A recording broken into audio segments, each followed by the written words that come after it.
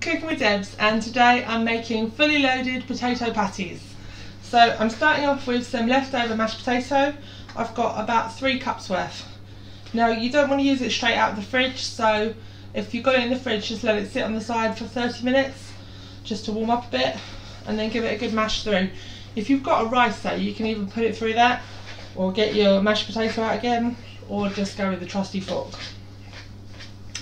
To that I'm going to add half cup of flour. This is um, just some plain flour. And I'll give that a stir.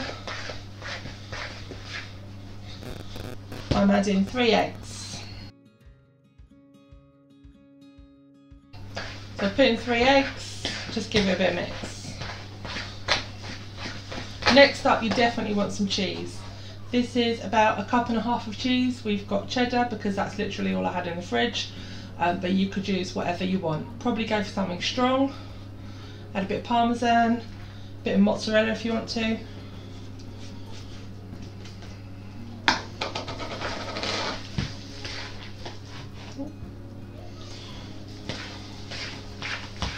It's coming together nicely. I've also got some chopped up chives. This is um, about a quarter of a cup or about half a packet of, it was a, like a 25 gram packet, so about 10-15 grams of chopped chives. I've got about a third of a cup of some ham.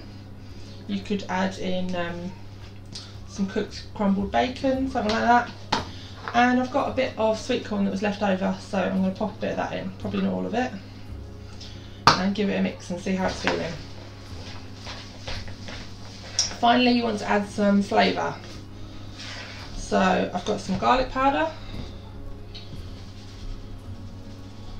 A nice shake. I've got some mixed herbs. You could also add in a bit of mustard if you wanted to, give it a bit of a kick.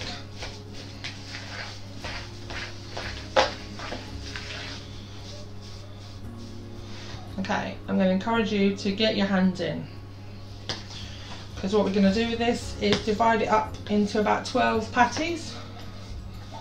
So, I'm just going to divide it with a knife in the bowl. So I've got an idea.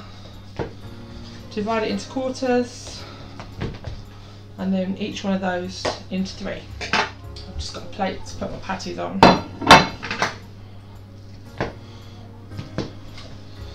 So just take it with your hands, shape it into a nice flat patty like that. It doesn't matter if you have 10, it doesn't matter if you have 15.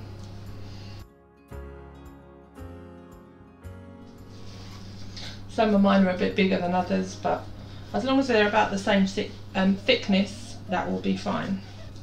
Once these have all um, been made into patties, you can put them in the fridge at this point if you don't want to cook them straight away. Um, if you need to layer them up, just put a layer of greaseproof in between, will probably help stopping them stick together. You can of course scale this recipe down if you want to. Um, I would say you need a cup of mashed potato, three tablespoons of flour, one egg and half a cup of cheese um, for like for every cup of potato that you have. Okay, we're just going to shallow fry the patties. Just make sure you've got a little bit of oil in the bottom.